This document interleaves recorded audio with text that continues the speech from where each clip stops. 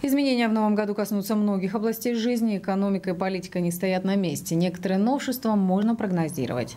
О том, какой будет жизнь в мире, стране и регионе, мы спросили у иркутских экспертов. Их мнение дали в программе. К сожалению, это будет тяжелый год. То есть у нас страна в экономическом кризисе. Мы воюем, воюем на два фронта.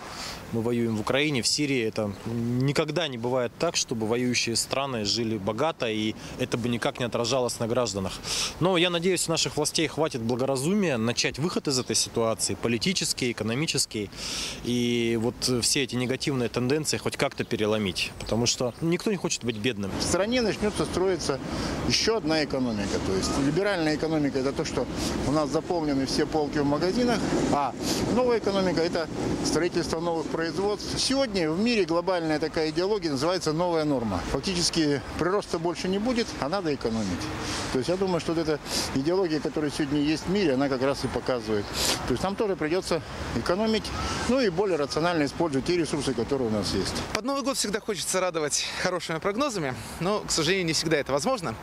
Э, Если год назад нефть по 50 казалась страшным кошмаром, то теперь это предел мечтаний. Так что год будет трудным.